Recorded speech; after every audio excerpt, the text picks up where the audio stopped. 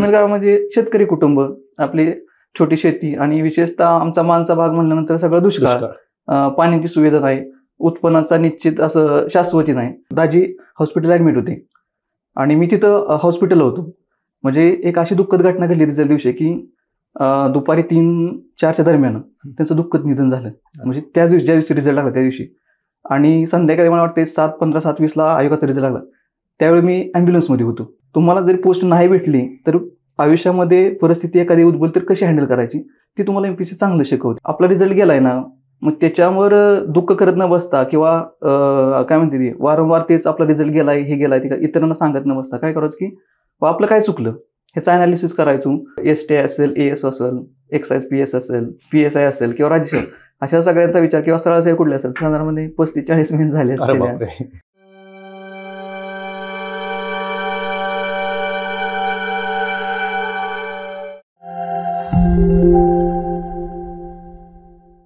नमस्कार मी किरण निंबोरे वास्तव कट्ट्यावरती आपल्या सर्वांचं स्वागत.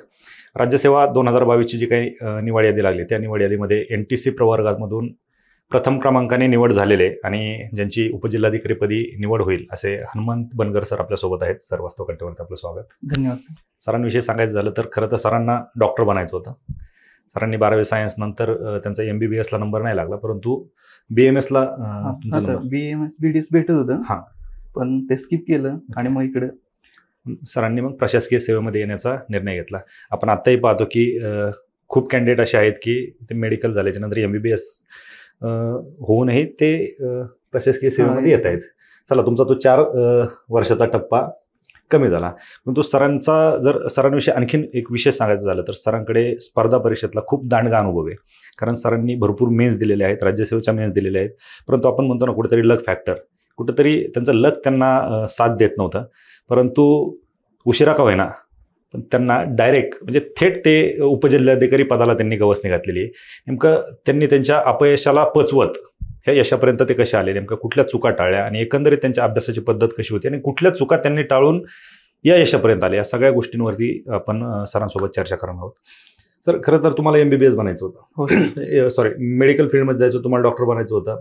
एम बी बी एस हे तुमचं टार्गेट होतं परंतु तुम्ही स्पर्धा परीक्षा क्षेत्राकडे तुम्हाला वळावं लागलं. हो सर.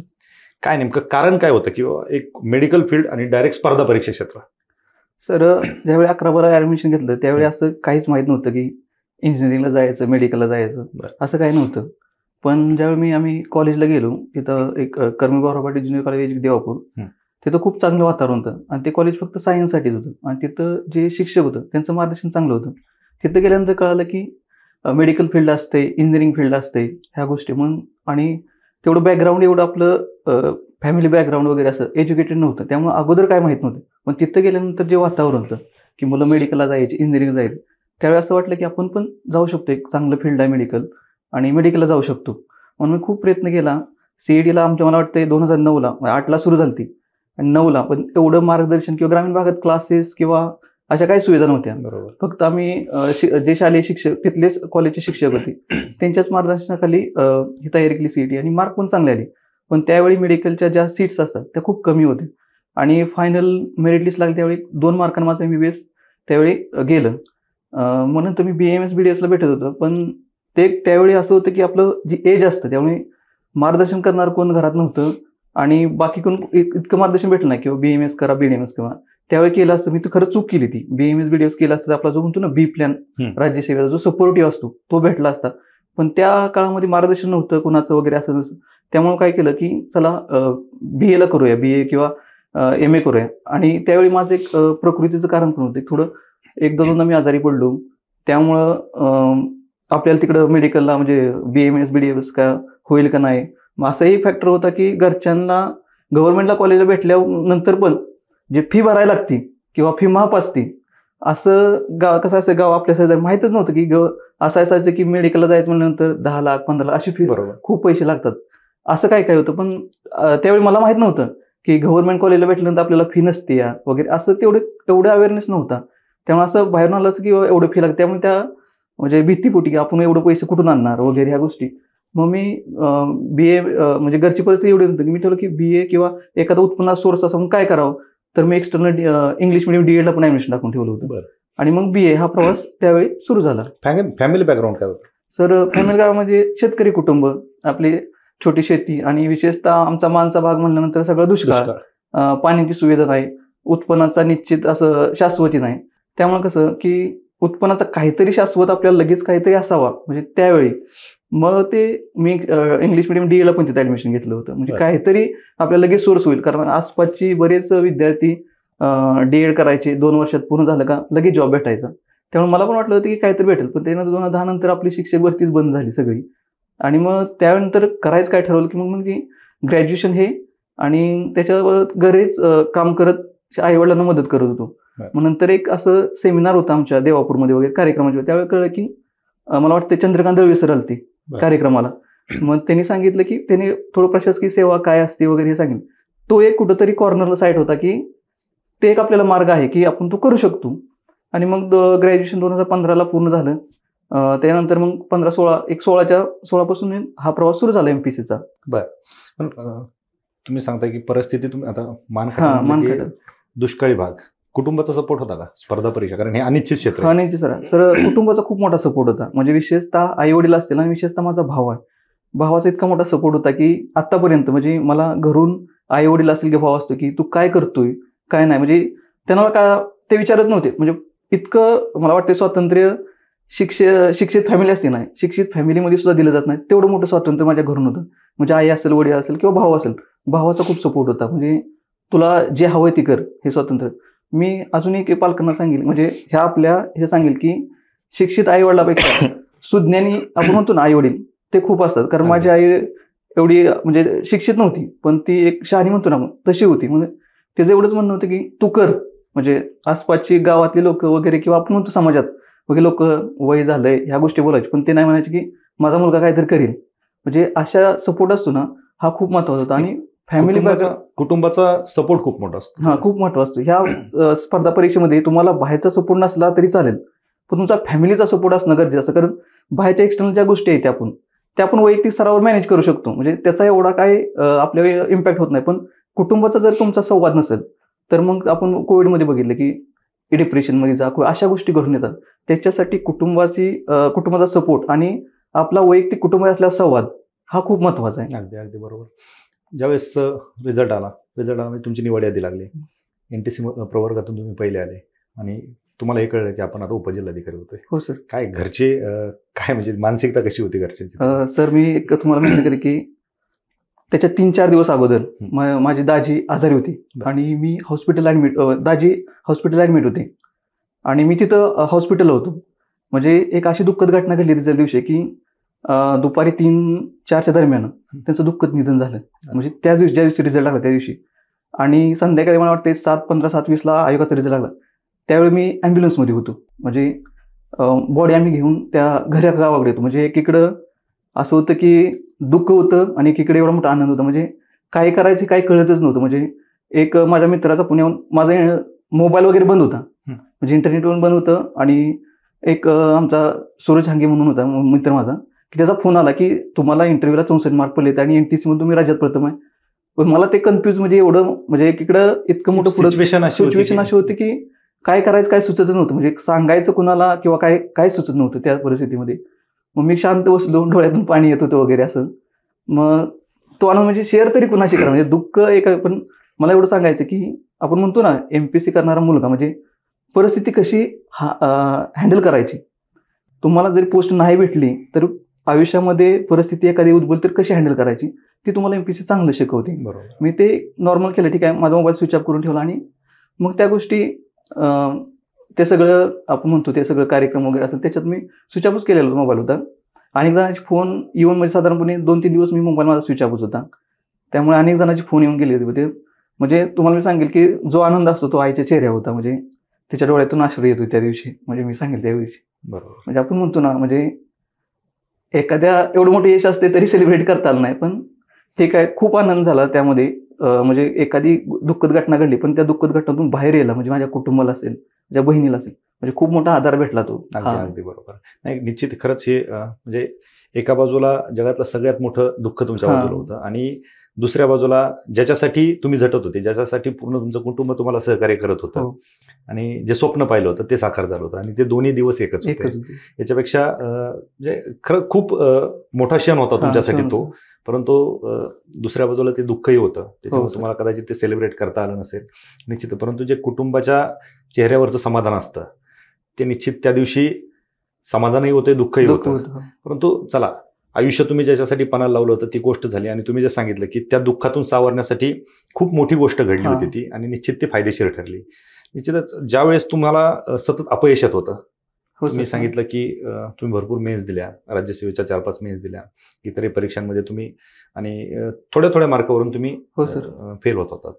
काय सिच्युएशन होती त्यावेळेस की कारण आता भरपूर विद्यार्थी असे आहेत की सतत अपयशात येत असतं. कित्येक विद्यार्थी आपण पाहतो की ते आत्महत्या करतायत. स्पर्धा परीक्षेमध्ये देखील आत्महत्या करण्याचं प्रमाण वाढलं विद्यार्थ्यांचं. डिप्रेशनमध्ये जात आहेत. काही विद्यार्थ्यांना मेडिकल ट्रीटमेंट घ्यावं लागते. काय. सांगाल तुम्ही विद्यार्थ्याला? या अपयशावरती मात करत कशा पद्धतीने यशाकडे गेलं पाहिजे? सर दोन हजार सोळा सतराचा किस्सा सर. म्हणजे तिथून म्हणजे माझी ज्या पोस्ट होत्या म्हणजे त्यावेळी मला वाटतं एक्साईज पी एस आय असेल एक्झाम ती. म्हणजे साधारणपणे एक दोन मार्कांनाच गेली त्यावेळी. मी अशी कुठलीच एक्झाम नव्हती की पूर्वपरीक्षा साधारणपणे सतत मी मेन्सला असायचो प्रत्येक मेन्सला मग एखादा रिझल्ट कुठे दोन मार्कांचा कुठे तीन मार्कांचा चार मार्कांचा. किंवा अलीकडे दोन हजार एकवीसचा माझा राज्य होता पॉईंट पंचवीसचा. म्हणजे इथंपर्यंत हा प्रवास झाला. पण मी काय करायचो की आपला रिझल्ट गेलाय ना मग त्याच्यावर दुःख करत न बसता किंवा काय म्हणते ती वारंवार तेच आपला रिझल्ट गेलाय हे गेलाय ते काय- इतरांना सांगत न बसता काय करायचं की बा आपलं काय चुकलं? ह्याचं अनालिसिस करायचो. विशेषतः म्हणजे घरच्यांना कॉल करायचो आणि त्यांना सांगायचं की असं असं झालंय. आणि मी कसं आहे घरच्यांना कन्व्हिन्स करणं खूप महत्त्वाचं आहे. त्यांना एकदा आपल्या म्हणजे काय म्हणते ते कन्व्हिन्स केलं का बाकीच्या गोष्टीचा काही इम्पॅक्ट नसतं मग ते कसं आहे आपल्या काही ज्या चुका झाल्या त्या त्या चुका शोधणं त्याच्यावर परत प्रयत्न करणं म्हणजे ज्या चुका आहेत त्या त्या प्रत्येक वेळी कमी कमी करत जाणं. आता काय गोष्टी कशा असतात त्या आपल्या हातातच नसतात त्या. तुम्हाला उदाहरण दोन हजार एक विचाराच्या शेवेस देऊ तुम्ही की मला चांगला स्कोर होता मेन्सला. मग सेकंड आन्सर की असं आलं की सेकंड आन्सर की साडे बावीस मार्क कमी झाली. बरं. आणि माझा इंटरव्ह्यूचा कॉल पॉईंट पंचवीसनच गेला. म्हणजे असे असतं की तुमचं आपण म्हणतो लक फॅक्टर म्हणजे नव्याण्णव टक्के तुमचे प्रयत्न असावेत पण एक टक्का लक असतं म्हणतो. ते लक म्हणजे काय असतं हे मला गेल्या वर्षी कळालं की म्हणजे तो रिझल्ट गेल्यानंतर असं वाटलं होतं की आता थांबवावं. म्हणजे विश्वासच ओढला होता सगळ्या गोष्टीवरचा. मग नंतर घरी कॉल केला भाऊ म्हणला की असू दे काय प्रॉब्लेम नाही तू कर. म्हणजे भावाचा खूप सपोर्ट होता. म्हणजे मला त्यांना विचारलं नाही की रिझल्ट काय गेला आता दुसरं काय करणार आहे वगैरे? नाही. तो म्हणला की तू कर अटेम्प्ट काय प्रॉब्लेम नाही. ह्यावेळी पॉईंट पंचवीसने गेले. पुढच्या वेळी नक्कीच चांगलं पद मिळेल. मग मी परत पूर्वपरीक्षा आणि पूर्वपरीक्षा मी सांगतो दोन हजार बावीसच्या पूर्वपरीक्षेला मला वाटतं मेरिट एकशे सात आठच्या दरम्यान काहीतरी लागले होते. पण मी पूर्वचा एक तास स्कोर काढून ठेवला होता. म्हणजे साधारणतः एकशे तीस पस्तीसच्या आसपास माझा स्कोर होता पूर्वचा. आणि मी तीन महिनं खूप म्हणजे डेडिकेशननं अभ्यास केला साधारणपणे. आणि एक इश्यू चालू होता आपला म्हणजे पिट्युटरी ग्लॅनचा जो प्रश्न होता.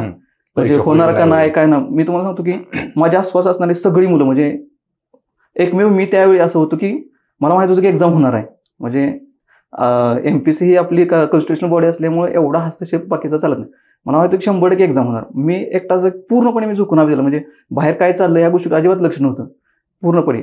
आणि मला एवढं विद्यार्थ्यांना एवढं सांगायचं की एम पी सीची प्रिपरेशन करत असताना किंवा ह्या गोष्टी घडत असताना तुम्ही एक्सटर्नल तुमचं लक्ष असावं एक विद्यार्थी म्हणून किंवा बाबा आपल्याला एखादी गोष्ट मागणी करायची आहे ते लक्ष असावं. पण ते एक्सटर्नल गोष्टी एवढा अडकून न पडता स्वतःच्या अभ्यासावर तुम्ही फोकस करा. आणि तुमचा एक प्लॅन असावा. त्या तीन महिन्यात मी माझा एक चांगला प्लॅन तयार केला. म्हणलं ह्या आणि असं होतं की आता शेवटचा अटेम्प्ट होणार आहे. त्यामुळे मी माझी पूर्णपणे शंभर टक्के ताकद झुकून दिली. आणि ज्यावेळी मेन्स झाली त्यावेळी मी अगोदरच स्कोर काढला की आपला चारशे पंच्याहत्तर किंवा नव्वदच्या दरम्यान स्कोर शंभर टक्के येणार. आणि आन्सर केला तेव्हा की चारशे पंच्याहत्तर स्कोर मला फर्स्ट किन आला होता. त्यामुळे कसं की आता वाटलं की आता आपल्याला कुठेतरी पोस्ट भेटते. मग आणि दुसरं एक सांगेल की ज्यावेळी ह्या गोष्टी अपयश येत असतात सगळ्या गोष्टी होत असतात त्यावेळी तुमचा एखादा कोणतरी मित्र असावा म्हणजे तुम्हाला शेअर करण्यासाठी. आणि सगळ्यात महत्त्वाची तुमची फॅमिली असावी. मी फॅमिलीशी शेअर करायचो. माझ्या आईला काही कळत नव्हतं ह्या एक्झाममध्ये म्हणजे हे पद काय असते किंवा एक्झाम काय असते काय नाही. ते फक्त एवढे सांगायचे की तू कर नाही झालं तर आपण बघू काय करायचं. ती घरी शेती होती थोडीफार.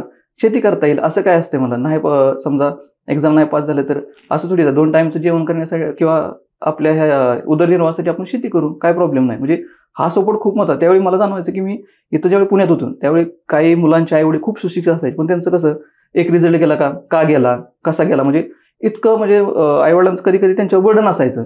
पण मला असं स्वातंत्र्य होतं की तू कर. म्हणजे हा खूप मोठा फॅक्टर होता माझ्यासाठी. म्हणजे स्वातंत्र्य घरच्यांनी दिलं होतं. आणि दुसरं सांगतो की दोन हजार एकोणीसचा रिझल्ट होता. दोन हजार एकोणीस साली मला वाटतं ऑक्टोबर महिन्यात म्हणजे माझे वडील एक्सपायर झाले. म्हणजे मला ते मेन्स झालेली होती पण इंटरव्ह्यू होणं बाकी होतं. म्हणजे त्यावेळी मी त्यांना मला वाटतं हॉस्पिटल होते ते आम्ही हॉस्पिटल होतं. असं वाटायचं की आता सांगायचं का? म्हणजे त्यांना शेवटच्या मी असं आयुष्यात मी एकदाच खोटं बोललो वडिलासाठी. की म्हणलं आपला ह्यावेळी रिझल्ट आलाय. म्हणजे रिझल्ट पण लागला नव्हता. तरी मी. सांगितलं त्यांना आपला रिझल्ट आला. म्हणजे त्यावेळी त्यांच्या चेहऱ्यावर जे आनंद होता खूप मोठा आनंद होता. म्हणजे जरी मी खोटं बोललो काय म्हणतात ना आपल्याला एखाद्या चांगल्या गोष्टी खोटं बोलावं असतं त्यांचं निधन झाल्यानंतर पण शेवटी दोन हजार एकोणीसचा रिझल्ट लागला. म्हणजे कोविड सिच्युएशन होती गावाला होतो. आणि त्यावेळी पण असं झालं होतं की सेकंड सारखीनं मार्क सतरा अठरा कमी झाले आणि रिझल्ट माझा आठ मार्काने गेला. म्हणजे त्यावेळी पण. म्हणजे त्यावेळी जे हँडल करायमध्ये असं प्रत्येक अपयश येत गेल्यानंतर मी प्रत्येक वेळी काय करत गेलो की स्वतःला समजून गेलो की नाही याच्यातून आपल्याला बाहेर निघून आपल्याला एंड द एंड करायचं आहे. मग त्यावेळी भाऊ फॅमिली आणि मित्र यांचा चांगला सपोर्ट होता. त्यामुळे कसं की या गोष्टीत मी बाहेर पडत गेलो. माझं मुलांना एवढं सांगणं आहे की तुम्हाला ज्या ज्यावेळी अपयश येतं सगळ्यात महत्त्वाची गोष्ट आहे की कुटुंबाची संवाद साधा. कुटुंबाची संवाद कुटुंबाकडून जी एनर्जी भेटते ती तुम्हाला इथं कुठंच भेटत नाही.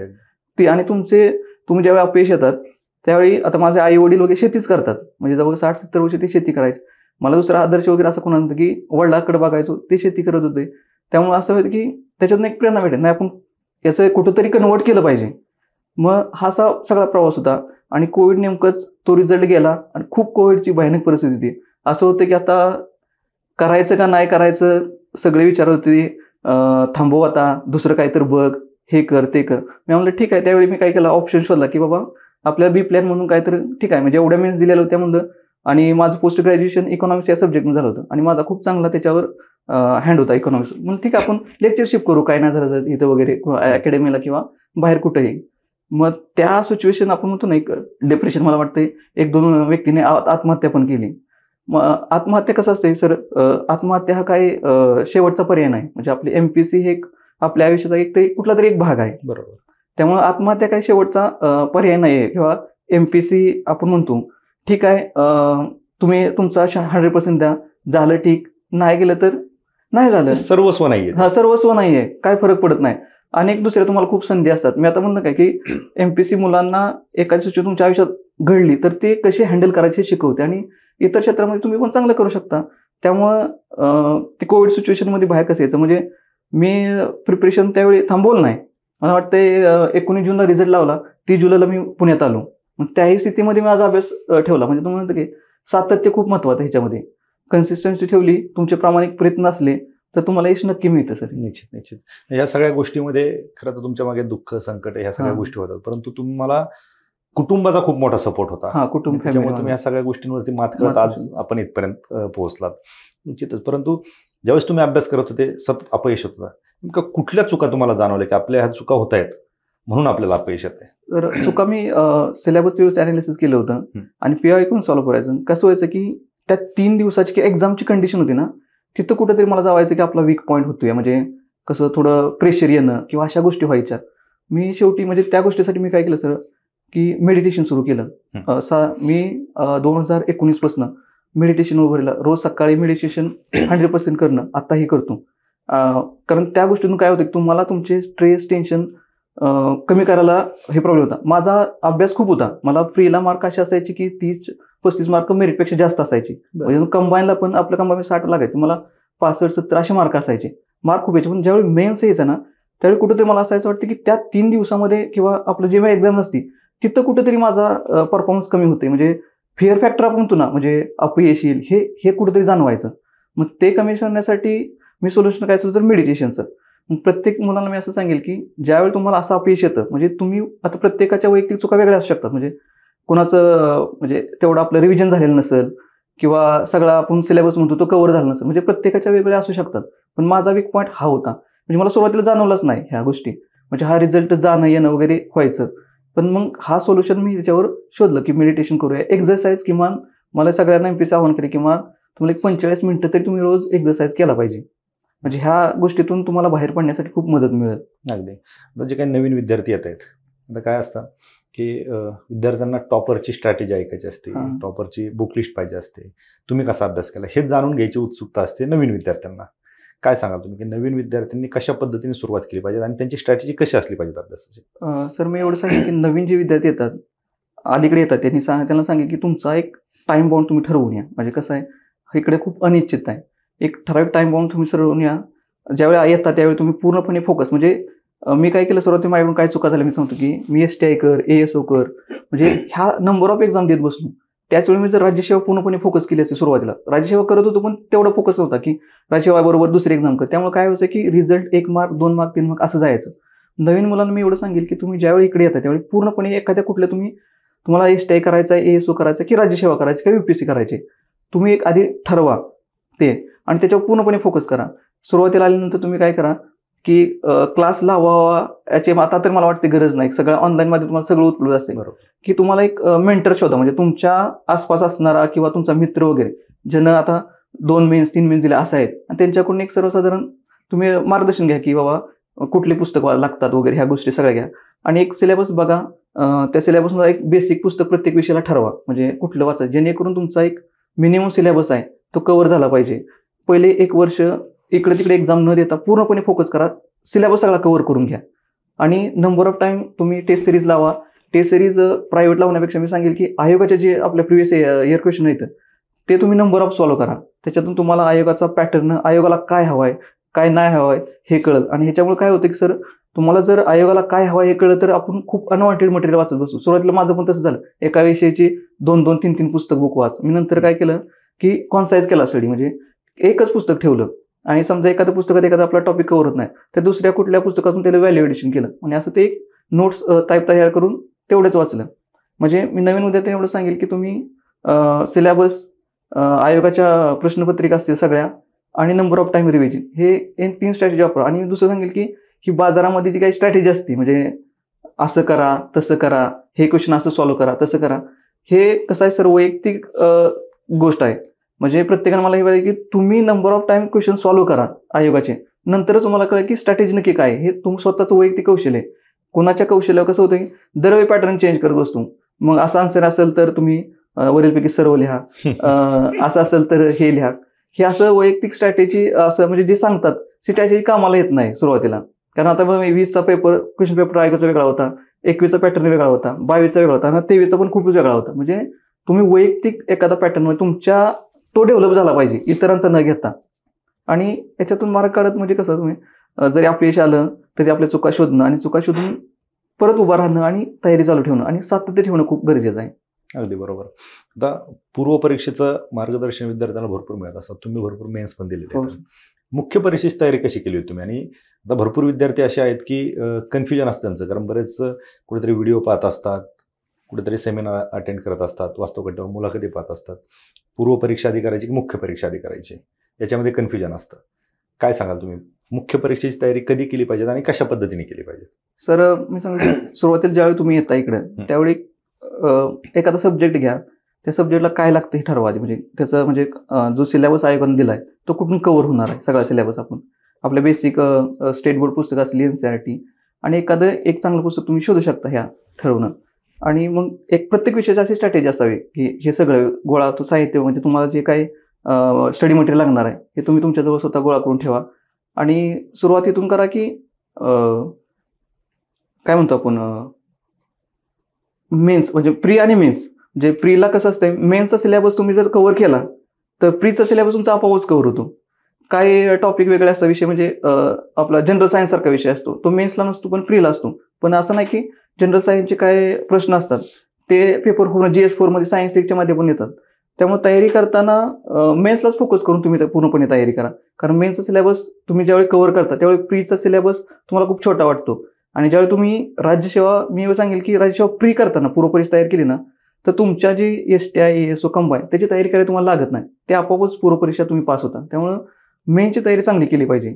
मेन्स तयारी केली तर पूर्व परीक्षा तुम्हाला म्हणजे काढायला खूप सोपी जाते. कारण वास्ट प्रश्न असतो म्हणजे- तुमचा आवाका आहे तो मोठा होतो. त्यामुळे कसं आहे अं, पूर्वपरीक्षा तुम्हाला पास व्हायला एक इझी जातं. असं. अभ्यास कुठे केला तुम्ही? सर अभ्यास मी पण सदाशिव पेटीतच केलाय.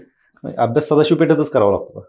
सर असं काही नाही आहे सदाशिव पेटीत केला पाहिजे. कसं होतं की आता गाव आहे आमच्या गावात. आमच्या गावात साधा पेपर पण येत नाही.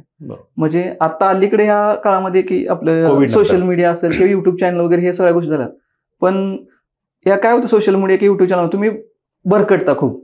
म्हणजे एक तुम्हाला एक बेसिक काय म्हणतात आता तुम्ही तयारी कुठेही करू शकता. ग्रामीण भागाची सवय काय असते की आपले आई वडील असतात. म्हणजे तेवढं वातावरण नसतं की त्यामुळे काय होतं आई वडील आपले काम करत असतात. आणि असं आपल्यासमोर ते काम करत असतात त्यांचे पन्नास पंचावन्न वय असताना आपल्याला असं वाटतं की अरे आपल्या कुठे आई वडील काम करतात मग आपण कसं बसणार? मग कुठंतरी ते आपण होतं की आपण पण केलं पाहिजे. मग ते थोडा वेळ इकडे तिकडे जातो किंवा तेवढं कॉन्सन्ट्रेशन राहत नाही. मग कसं होतं इकडं असं- किंवा काय तुमच्या कुटुंबाच्या समस्या असतात त्यामुळे ते काय होतं की आपलं थोडं कॉन्सन्ट्रेशन डायव्हर्ट होऊ शकतं. इकडं असल्यानंतर कसं होतं की तुम्ही जर प्रामाणिक प्रयत्न करीत असाल तर तुमचं पूर्णपणे फोकस जो आहे तो स्टडीवर होतो. कसं असतं आणि गावात कसं ग्रामीण भागामध्ये बाहेर वगैरे फिरत असताना लोक वगैरे असतात. म्हणजे काय होतं की आपण गावात काय कार्यक्रम असलं किंवा बाकीच्या गोष्टी असतात त्याच्यात आपण थोडं डायव्हर्ट होऊ शकतो. म्हणजे आपण म्हणतो ना एक आयुष्यामध्ये एक सर दोन गोष्टी सांगेल की आयुष्यामध्ये स्वतःच असं काय नसतं. म्हणजे टॅलेंट आपण म्हणतो ना ते नाही. म्हणजे स्वतःच नसतं टॅलेंट कधी. आयुष्यात दोन गोष्टी टॅलेंट असतं एक तुमच्या जेनेटिक्स असतं पण आलेलं आणि दुसरी गोष्ट असेल की तुमच्या आसपासचा परिसर. ह्या दोन गोष्टीच माणसाला घडवत असतात. ह्या खूप मोठ्या गोष्टी आहेत. त्यामुळे तुमच्या आसपासचं वातावरण हे खूप महत्त्वाचं आहे. त्यामुळे इथं कसं चांगलं एक तुम्हाला वातावरण भेटतं सराउंडिंग भेटतं आणि कॉम्पिटेटिव्ह ॲटमॉस्फिअर आहे ते तयार होतं. त्यामुळे तुमची जी तयारी आहे म्हणजे आपण कुठल्या दिशेने चाललोय हे माहीत पडतं. त्यामुळे कसं इथं तयारी केली बेटर होतं. पण जर. समजा आपली आर्थिक परिस्थिती चांगली नसेल किंवा आपण इथं राह राहत नसेल तरी तालुक्याच्या ठिकाणी जिल्ह्याच्या ठिकाणी तिथं जाऊन पण आपण तयारी करू शकतो. अगदी बरोबर. कारण आता तो काळ नाही राहिलेला कारण पूर्वी पुण्याशिवाय दुसरीकडे सुविधा पण मिळत नव्हत्या. हा. आता ग्रामीण भागामध्ये तालुक्यावाईज लायब्ररी आहेत क्लासेस आहेत ऑनलाईन सगळ्या गोष्टी मिळत आहेत. त्यामुळे ॲक्च्युली तो प्रश्न विचारला होता. मग अभ्यास करताना सगळ्यात मोठ्या अडचणी कोणत्या येत होत्या? अभ्यास करताना अडचणी आपली परिस्थिती थोडी आर्थिक कंडिशन खराब असते. तो एक विचार असायचा सारखा की घरचे अजून कुठेपर्यंत आपल्याला पुरवणार वगैरे. म्हणजे ते काय म्हणायचे नाहीत पण एक आपल्याला आपण कसं असतं की आपलं आपल्याला स्वाभिमान. असतो ना हे. ते थोडं वाईट वाटायचं. दुसरी गोष्ट असे की आर्थिक अडचण कसं माझ्या आई वडिलाचं एज थोडं एज डिफरन्स जास्त आहे माझ्या आणि त्यांना काय असायची त्यांना गरज असायची बाबा आपला मुलगा जवळ असावा किंवा आजारी पडले. तर तिथं मला वेळ देत होत ना. माझ्या आयुष्यात म्हणजे रिग्रेट अशी गोष्ट होती की तीच होती की आपल्या आई वडिलाला आपण म्हणतो ना आपलं कर्तव्य आहे. म्हणजे तेवढा वेळ मी देऊ शकत नव्हतो त्यांच्यासाठी. समजा आई आजारी असली वडील आजारी असली तर कसं असायचं की ते पडद्यावर डोळा ओढून तिथं थांबावं लागायचं. किंवा. मित्र असेल किंवा भावाला म्हणायचे बाबा तू बघ वगैरे. म्हणून असं एक आपण म्हणतो ना एक आपलं एक कर्तव्य म्हणून आपल्याला मुलगा म्हणून हा. ते एक वेळ देता येत नव्हतं. हे एक माझ्यासाठी खूप म्हणजे त्यातून स्टडी करताना वगैरे ते थोडं जाणवायचं. बाकीच्या इथं आर्थिक अडचणी असायची पण आर्थिक असं म्हणतो काय परिस्थितीचा कधी मला वाटतं की भाव करत बसण्यापेक्षा आपण काय म्हणतो की त्याच्यातून मार्ग काढलेला कधी पण चांगला. मग आर्थिक अडचण म्हणजे तेवढं नसायची असायची काय थोडीफार पण इतकी नसायची म्हणजे जेणेकरून आपल्याला काही ठराविक रक्कम आपल्याला यायची. त्यामुळे एवढं फक्त दुसरी अडचण म्हणजे कसं दुसरी अडचण अशी काही वैयक्तिक नव्हती जास्त. किती मेन्स किती दिला तुम्ही? सर साधारणपणे सगळ्या आपण एस टी असेल ए एस असेल एक्साईज पी एस असेल पी एस आय असेल किंवा राज्यसेवा अशा सगळ्यांचा विचार किंवा सरळ सेवा कुठले असेल साधारणपणे पस्तीस चाळीस मिनिट झाले म्हणजे याच्यामध्ये पोस्ट ही डेप्युटी कलेक्टर जे आहे ती पहिलीच. हा पहिलीच पोस्ट सर म्हणजे याच्या अगोदर कुठलीच पोस्ट नव्हती डायरेक्ट. लेट पण थेट. म्हणजे जी पाहिजे होती ती हा मिळाली तेच भेटली सर निश्चितच. हे सगळं होत असताना तुमचा सगळ्यात महत्त्वाचा टप्पा असतो मुलाखत. हो सर. मुलाखतीमध्ये विचारलं नाही का एवढं ज्यावेळी मला वाटते आपली मेन्स झाली आणि सहा फेब्रुवारी मला वाटते दोन हजार तेवीसमध्ये आन्सर केलं त्यावेळी चारशे पंच्याहत्तर मार्क्स होते. त्याच वेळी मी ठरवलं की आता पूर्णपणे आपल्याला माहीत होते कुठली तरी क्लास टू वर्स्ट कंडिशनला आपल्याला भेटणार आहे. त्यामुळे मी काय केलं की पूर्णपणे फोकस केला मुलाखतीवरच. पूर्णपणे साधारणपणे सांगतो की त्यावेळी माझं वजन म्हणजे राज्य झालं साधारण चौऱ्याऐंशी पंच्याऐंशी होतं. मी एक्झरसाईज ठरवलं साधारणपणे खूप सकाळी दोन तीन तास एक्झरसाईज सुरू केला. साधारणपणे एक तेरा चौदा किलो वजन कमी केलं. म्हणजे. आपल्या इंटरव्ह्यूसाठी मुलाखतीसाठी. आणि इंटरव्ह्यूची इतकी भारी तयारी केली. मी पूर्णपणे मला वाटतं साधारणपणे दहा अकरा महिने पूर्णपणे इंटरव्ह्यूची तयारी केली. माझं मुलांना एवढं सांगायचं की ज्यावेळी तुम्हाला कळते की आपल्याला कुठली तरी चांगली पोस्ट भेटणार आहे. म्हणजे आता माझा चांगला स्कोर होता मला वाटतं की वर्स्ट कंडिशन काय झाली तेव्हा क्लास टू भेटणार आहे. ते तुम्हाला जी संधी येते की आता तुला संधी आहे की तू कन्वर्ट करायचं आहे. मग मी काय केलं माझ्या सगळ्या मेन्स होत्या S T I S O म्हणजे सगळ्या मेन्स होत्या. त्या मी पूर्णपणे सोडून दिल्या आणि पूर्णपणे इंटरव्ह्यू फोकस केला. आणि इंटरव्ह्यू फोकस केल्यानंतर मला चौसष्ट मार्क आले. वाघ सराचं पॅनल होतं. आणि मुलं बाहेर अशा चर्चा असायच्या की वाघ सर आठ नऊ दहा मिनिटं इंटरव्ह्यू घेतात. खूपच ट्रोल करतात. वगैरे. मी एवढी तयारी केलेली होती की माझा इतका कॉन्फिडन्स होता की काही जरी विचारलं पॅनलला तरी आपण दोन शब्द शंभर टक्के बोलू शकतो. आणि मी माझा बी प्लॅन वगैरे असतं तो तयार केलेला होता. म्हणजे मी तेच करणार होतो. एकतर बी प्लॅन शेती होता माझा नाहीतर कुठंतरी लेक्चरशिप करणं. या दोनच बी प्लॅन ठेवलं होतं. मी शेतीची इतकी उत्तम सर तयारी केलेली होती की आणि अकरा बारावीला माझा क्रॉप सायन्स होता. शेतीची तयारी एवढी मी केली होती की मला असं वाटायचं की काही जरी क्वेश्चन आला म्हणजे काही जरी विचारलं तरी आपल्याला येणार आहे. म्हणजे जो कॉन्फिडन्स माझा इंटरव्ह्यूला जाताना एवढं सांगेल की तुमच्याकडं नॉलेज किती याच्यापेक्षा तुम्ही फक्त एक गोष्ट घेऊन इंटरव्ह्यूला गेला ना कॉन्फिडन्स म्हणजे त्यांनी काही विचारू द्या तुमच्याकडे कॉन्फिडन्स पाहिजे. वाघ सरांचं पॅनल होतं की खूप चर्चा चालू होती बाहेर की असा इंटरव्ह्यू होतोय आठच दहाच पाच मिनिटं होतो वगैरे मी एकच ठरवलं होतं की आपण फक्त बिंदास्तपणे डोळ्यात डोळे नजर घालून बोलायचं कॉन्फिडन्स ठेवायचा आणि माझा सर सांगतो की एक चांगली गोष्ट म्हणजे सरांनी मला पहिलाच प्रश्न विचारला की काय करतोय मी सरळ स- बिनधास्तपणे सांगितलं की मी शेती करतोय म्हणून. सरळ सांगितलं. शेती आहे काही ठराविक वेळ ज्यावेळी इथं मला वेळ वाटायचा मी जायचं गावाला शेती वगैरे. आणि शेतीत लहानपणापासून आपलं शेतकरी कुटुंब असल्यामुळे सगळ्या गोष्टी माहीत होत्या माझा पूर्णपणे इंटरव्ह्यू फक्त आणि फक्त शेतीवर झाला. म्हणजे दुसरा मला एकही प्रश्न विचारला गेला नाही. आणि तो एवढा कॉन्फिडन्स झाला की साधारणपणे पंधरा सोळा मिनिटं इंटरव्ह्यू झाला. सर त्यावेळी आठ दहा मिनिटाचा इंटरव्ह्यू घ्यायचे. मी एवढं सांगेल की इंटरव्ह्यूला सगळ्यात महत्त्वाची गोष्ट आहे की तुमचं फिजिकल हेल्थ खूप महत्त्वाचे आहे. आणि त्याच्यामुळे तुमचं इम्प्रेशन पडतं. आणि तुम्ही तयारी करायचं तुमचं जे बॅकग्राऊंड आहे ते चांगलं करा. एवढे डिटेल्स करा की असं वाटलं पाहिजे की त्यांनी काही जरी प्रश्न विचारला तरी मला येणार आहे. हा कॉन्फिडन्स ठेवून जावा. तुम्हाला बिंदास्त मार्क इंटरव्ह्यूला चांगले येणार. अगदी बरोबर. या रिझल्टमध्ये जर समजा किंवा या परीक्षेत पोस्ट मिळाली नसते तर? सर पोस्ट माझा एक बी प्लॅन होता. म्हणजे आन्सर की आली त्यावेळी कळलं की मार्क एवढे येते त्यामुळं भेटेल. पण मी माझ्या जे कंबाईनच्या एक्झाम होत्या त्या सगळ्या काढून ठेवल्या होत्या. मला माहिती होतं की आता इतकं आपण अभ्यास केलाय. कुठली ना कुठली शंभर टक्के भेटेल. आणि जर नाही भेटलं पोस्ट तर माझं एकच होतं की लेक्चरशिप करायची किंवा मग बी प्लॅन माझा शेती होता. मग तिथं काहीतरी करायचं. बिनधास्त. आणि मी असं रिग्रेट अजिबात करत बसलो नसतो की आता नाही झालं तर काय करायचं हे मी त्याचा त्या गोष्टीकडे एवढा म्हणजे काय म्हणतो आपण आधीच आपण टेन्शन की मला माहीत होतं की त्या गोष्टीचं सर काय इम्पॅक्ट होतं की आपल्या तीन दिवसाची एक्झाम असते ना त्या एक्झामवर खूप परिणाम होतो की आता नाही झालं तर मग काय? मग ती तीन दिवसाची एक्झाम असते ना ते तुम्ही त्याच गोष्टीचा विचार करता आणि त्याचा इम्पॅक्ट आहे त्या तीन दिवसाच्या एक्झामवर होतो. मी त्या सगळ्या गोष्टी बाजूला झाल्या होत्या. काय होईल ते होईल बिंदास्तपणे करायचं. मला माहीत होतं की आपला स्कोर मागच्या वेळी पॉईंट पंचवीसने केला ह्यावेळी अभ्यासच इतका केला होता तीन महिन्यात. की मला माहीत होतं की शंभर टक्के स्कोर येणार म्हणजे अगोदरच माहीत होतं. त्यामुळे मी बिंदास्तपणे तयारी केली ती. आणि ग्रुप बी आपला होताच. म्हणजे काय शेती आहे? करायला काय फरक पडतो? कारण हे जे करायचं सगळं ठरवलं ते आपण ठरवलं होतं. त्यामुळं याचा दोष दुसऱ्यांना देणं किंवा ही गोष्ट योग्यच नव्हती. त्यामुळे काय? असं काय नाही की एम पी नाही झालं तर काय नाही. बिंदासपणे दुसरं करायचं काही करायचं. म्हणजे तेवढा आत्मविश्वास तुमच्याकडे पाहिजे की काय करायचं वगैरे. आणि तुम्हाला मी सांगतो की मी शेवटच्या ज्यात आपले शेवटचा असं चालू होतं की आता हा एम पीचा शेवटचा अटेम्प्ट आहे. त्यामुळे ती एनर्जी खूप लागली गेली. आणि त्या तीन दिवसात मी असं तयार केलं की ज्या दिवशी शेवटचा जीएस फोरचा पेपर संपेल त्या दिवशी असं वाटलं पाहिजे की आता परत एक्झाम द्यायची नाही. आणि ते असं झालं मी जीएस फोरचा पेपर येऊन बाहेर आल्यानंतर मला शंभर टक्के जाणवलं की यावेळी आपला स्कोर चारशे सत्तर प्लस शंभर टक्के असणार आहे. आता परत तयारीच करायला लागणार नाही. म्हणजे कॉन्फिडन्स तुम्ही ठेवला ना म्हणजे माझा ह्या सगळ्या ह्याच्यामध्ये तुम्हाला सर सांगेल की स्वतःवर तुमचा खूप विश्वास पाहिजे. आणि डिसिप्लिन खूप पाहिजे. माझ्याकडे डिसिप्लिन एवढी होती की म्हणजे खूप म्हणजे सातला सातला एक लायब्ररीला जाणं. म्हणजे ही डिसिप्लिन आहे ना आपण म्हणतो ना किंवा मी जो एक्झरसाईज करत होता आता इंटरव्ह्यूच्या वेळी मी असा एक दोन दिवस म्हणजे संडे सोडला. तर माझ्याकडून तो कधीही चुकला नाही. म्हणजे डिसिप्लिन तुमच्या आयुष्यात खूप महत्त्वाचे केवळ ह्या एम पी सीच्या परीक्षेसाठी नाही की- म्हणजे एवढ्यासाठीच नाही तर आयुष्यात तुमच्याकडे जर डिसिप्लिन असेल तुम्ही कुठल्याही क्षेत्रात जा. तुम्ही सक्सेस शंभर टक्के. एक्सरसाइज रोजचे असायचे. हो रोज डेली साधारणपणे एक दोन तास तरी होता म्हणजे ते बरेच विद्यार्थी म्हणतात की अभ्यासाचा वेळ इकडे एक्सरसाइजमध्ये घालवण्यापेक्षा नंतर पाहू काय असेल. सर काय होतं आहे का माझी पण तू चूक झाली मी पण म्हणायचं की तुझं वेळ जाईल हे जाईल पण कोविड नंतर मला कळालं की तुम्ही जर पाऊन तास एक्झरसाईज एक पंचेचाळीस मिनिटं जर तुम्ही किमान एक्झरसाईज केला हं. तरी तो इतका फ्रुटफुल असायचा की त्याच्यामुळे तुम्हाला हे जे आपण म्हणतो डिप्रेशन वगैरे ह्या गोष्टी टॅकल करायला खूप प्रॉब्लेम म्हणजे काय म्हणते ते एक तुम्हाला सोल्युशन असतं त्याच्यावरच ह्या गोष्टीचं. आणि दुसरी गोष्ट म्हणजे आता जो मी दोन तास करत होतो त्यावेळी मला माहीत होतं की माझा स्कोर एवढा आहे. त्याच्यामुळे इंटरव्ह्यूसाठी जे काय लागतं म्हणजे ते खूप म्हणजे पूर्णपणे करायचं. आणि ह्या कन्वर्ट एस की शेवटी आता अशी संधी होती की जागा पण चांगल्या होत्या म्हणलं की हे कन्वर्टच करायचं. म्हणजे या एक आपण म्हणतो ना एक ध्येय असतं. म्हणजे आता संधी आली सोडायची नाही. बरोबर. ते एक कुठंतरी मोटिवेशन होतं. आणि त्यामुळं मी रोज मला वाटतं मी पर्वतीला जायचो. एक साधारणपणे तीन चार राऊंड रोज मारायचो.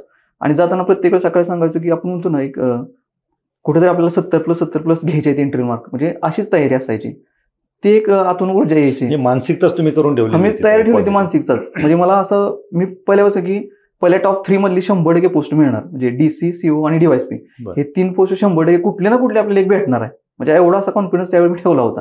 हे सीओ क्लास पण का तुम्ही आता डीसी सीओ पहिले तर आम्ही डीसी डीवायस पी म्हणायचो. सीओ का आले मध्ये सर सीओ क्लास वन म्हणजे कसं की ठीक आहे म्हणजे तुम्हाला एक लाईफ म्हणतो शेरी लाईफ. म्हणजे त्याच्या शेरी लाईफ आणि त्या पदाचे काम करण्याची शेरी भागामध्ये काम करण्याची संधी. बरोबर बऱ्याच जणांचा सीओ क्लास वनकडे कल जास्त आहे. हो. कसं होतं की लोकांना काय वाटतं की बाबा आता डीसी भेटलं किंवा आपण कुठे ग्रामीण भागात पण जाऊ शकतो. म्हणजे काय काय लोकांचा असा व्यवस्था की समजा सीओ क्लासून भेटलं तर जिल्ह्याच्या ठिकाणी किंवा वर्ग एक दोन शहराच्या आपण ठिकाणी राहू शकतो. आणि कसं होतं की भविष्याची लाईफ वगैरे की मुलांचं शिक्षण वगैरे अशा गोष्टी ज्या आहेत त्याच्यामध्ये बॅकग्राऊंड आहे. त्याच्यामुळे ते प्राधान्य देतात आणि कसं आहे काम करायला पण चांगली संधी त्या पदासाठी. त्यामुळे ह्या गोष्टी आहेत. तुम्ही ते डीसी सीओ आणि डीवायएसपी असा सिक्वेन्स लावला म्हणून नाही डीसीसीओ म्हणजे कसं आमच्या कॅटेगरीला तशी जागा होती. म्हणजे एक डीसी. होती एक सीओ आणि दोन डिवाइस म्हणजे ते फ्लोज तयार केला होता. म्हणजे तो माझा म्हणजे माझी चॉईस होती तो म्हणजे का हे. असं. मुलाखतीच्या शेवटी सगळ्यात महत्त्वाचा आपला दोन तीन वेळामध्ये उल्लेख झाला की परीक्षेचा तो कालावधी. तुम्ही मुख्य परीक्षेचा जो दोन तीन दिवसाचा कालावधी सांगितला आणि पूर्व परीक्षेचा जो काही दोन तासाचा कालावधी असेल याच्यामध्ये जशा तुमच्याकडून चुका होतात तशा भरपूर विद्यार्थ्यांकडून चुका होतात. काय सांगताल तुम्ही की ते तो जो परीक्षेचा कालावधी असतो त्या कालावधीमध्ये कशा पद्धतीने स्वतःला स्टेबल ठेवलं पाहिजे? त्याच्यासाठी सर मी एक सांगेल की तुम्हाला ज्या समजा आपला पूर्व परीक्षा दोन तास असेल किंवा मेन्सच्या तीन दिवस असतील तर त्याच्यासाठी ते पूर्वाट अशा आहे की तुमचा अभ्यास आहे. तो असा परिपूर्ण म्हणजे कॉन्फिडंट पाहिजे. तुम्हाला स्वतःला कॉन्फिडंट पाहिजे की मला कसा जरी पेपर आला तर मी ते टाकेल करणार आहे. आणि हे करण्यासाठी तुमचा जो अभ्यास आहे तो अभ्यास चांगला पाहिजे आणि त्या अभ्यास तुमचा कॉन्फिडन्स पाहिजे. आणि दुसरी गोष्ट म्हणजे की तुम्ही ज्यावेळी एक्झामला जाता म्हणजे ते एक एक्झामच्या अगोदर एक दोन दिवस पूर्वी आपल्याला असं वाटतं की आता होईल का नाही मग स्कोर येईल का नाही किंवा नाही झालं तर काय? म्हणजे ह्या गोष्टी आपण आधीच विचार करत बसतो. ह्या गोष्टी पूर्णपणे टाळायच्या. म्हणजे खूप बिंदास राहायचं की तुमचा अभ्यास झालाय ना तुम्ही बिंदास जा आणि आपण म्हणतो ना समजा प्रीच आहे शंभर मार्क आहेत वगैरे म्हणजे शंभर क्वेश्चन आहेत एक ते शंभर. विचारच करू नका की तुम्ही सुरुवातीला की एखादा क्वेश्चन अवघड आलात आपल्याला एवढंच स्ट्रॅटेजी ठेवा की आपल्याला शंभर शेवचा अंक कव्हर करायचा आहे. त्यामुळे कसं आहे कॉन्फिडन्स राहा आणि बिंदास राहा. बिंदासपणे सोडा. हे जे आपण म्हणतो ना बॅकअप माइंड चालू असतं की मार्क येतील का नाही आता नाही झालं तर काय करायचं? ह्या गोष्टी थोडा टाळल्या पाहिजे त्या. आणि या गोष्टी टाळण्यासाठी दोन महत्वाची गोष्ट सांगेल की तुम्ही तुमच्या हेल्थकडे लक्ष द्या. एक्सरसाइज करा. आणि दुसरी गोष्ट आहे की तुमचा मिनिमम जो सिलेबस असतो म्हणजे आपल्या त्या प्रीचा असेल किंवा मेन्स असतो तो कव्हर करण्याचा प्रयत्न करा. ह्या दोन गोष्टी केला तुम्हाला कॉन्फिडन्स आपोआप येतो. आणि त्यामुळे ह्या गोष्टीची फिअर फॅक्टर म्हणतो ना तो दूर जातो कुठेतरी. अगदी अगदी बरोबर. म्हणजे कारण भीती दूर झाली तर तुम्ही विदाऊट प्रेशर तिथं बसू शकता. हा बसू शकतो. विद्यार्थ्यांच्या बऱ्याच कमेंट्स येतात इंटरव्ह्यूच्या खाली की आम्हाला बुक लिस्ट सांगा टॉपरची बुक लिस्ट पाहिजे असते विद्यार्थ्यांना किंवा कित्येक विद्यार्थी असे असतात की नवीन ते भरकटतात. जे शेजारच्या ज्या टेबलवरती पुस्तक दिसतात ते घेऊन येतात आणि कुठलंही पुस्तक रॅन्डमली वाचायला सुरुवात करतात. तुम्ही काय सांगाल? कशा पद्धतीने ती बुक लिस्ट असावी आणि कशा पद्धतीने सुरुवात करावी? सर्वसाधारण बुक लिस्ट मी माझ्या मी स्वतः तयार करून तुमच्याकडे सर शेअर करेल बुक Okay. लिस्ट. एक मी सांगतो की एक उदाहरण देतो तुम्हाला. आपला राज्यसेवेला जो जनरल सायन्स आहे. मुलं काय करतात की बाजारातली कुठली तरी बुक वाचून घेतात. त्या बुकमध्ये काय असतं की त्याचं बॅकग्राऊंड किंवा पुढच्या गोष्टी आग- काय नसतं. तिथं फक्त एखादं सेंटेन्स दिलेलं असतं आणि ते कंटेंट दिलेला असतो. माझं म्हणणं आहे की तुम्ही बेसिक कोरला जावा. म्हणजे समजा आता मी सायन्सला एकच विषयाचं उदाहरण देतो की जनरल सायन्सला मी आतापर्यंत कुठलंही म्हणजे आपलं मार्केटमध्ये बुक आहे ते बुकच वापरलं नाही. मी फक्त एवढंच केलं की आपल्या एट स्टँडर्डपासून ती ट्वेल्थ स्टँडर्ड पर्यंतची जी आपली स्टेट बोर्डची पुस्तक आहेत. ते रेफर केली सरळ सरळ म्हणजे मी तुम्हाला कॉन्फिडन्स म्हणजे एवढा कॉन्फिडन्स सांगू शकतो की राज्यसेवेला वीस प्रश्न त्या वीस पैकी मला सोळा सतरा अठरा म्हणजे एक एक दोनदा असंही झालं मला की एकोणीस एकवीस प्रश्न बरोबर आले म्हणजे हा जो तुमचा जो म्हणजे म्हणजे सिलेक्शन म्हणजे खूप महत्त्वाचा आहे. म्हणजे तुम्ही बुक काय निवडताय? साधारणपणे असं जनरल सायन्स मी बुक निवडले की तुम्हाला कॉन्फिडन्स पाहिजे की तुम्ही जे एखादं बुक रीड करताय त्याच्यातून आपल्याला म्हणजे आउटपुट किती भेटतोय? ह्याचं सर्व महत्वाचं आहे. एक कुठलं तर तुम्ही एवढं सांगितलं मी की सोर्स खूप महत्त्वाचा आहे तुमचा.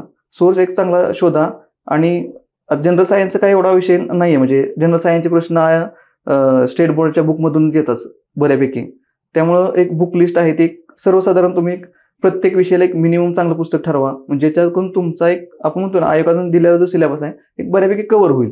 आणि नंतर तुम्हाला जर समजा वाटत असेल की ह्याच्यातून कव्हर होत नाही तर कुठलं तरी एखादं बुक म्हणजे ऍडिशनल असं दुसरं बुक ठेवू नका. किंवा त्याचे एक तुम्ही म्हणतो झेरॉक्स मारून घ्या आणि तुम्ही व्हॅल्यू ॲडिशन करा. असं केलं तरी एक मिनिमम होऊन जाईल. तर निश्चितच. आपण तुमची जी काही बुक लिस्ट आहे ती डिस्क्रिप्शनमध्ये देऊयात. निश्चितच खरं तर अनेक संकटांवरती दुःखांमधून मात करत तुम्ही या यशापर्यंत आलात. खरं तर चाळीस तीस पस्तीस चाळीस ज्या काही मेन्स असतील एवढ्या मेन्स देऊन तेवढे पेशन्स ठेवून यशापर्यंत पोहोचणं निश्चित खरं तर ती सोपी गोष्ट नाही आहे हो सर कारण आपण पाहतो की एखाद्या दोन अपयशाने आपण डिप्रेशनमध्ये जातो विद्यार्थी आणि आत्महत्या केल्याचे प्रमाण पण आपण पाहतो. खरं जे विद्यार्थी डिप्रेशनमध्ये आहेत किंवा ज्यांना सतत अपयश येत आहे त्यांनी खरं तुमची मुलाखत पाहणं गरजेचं आहे.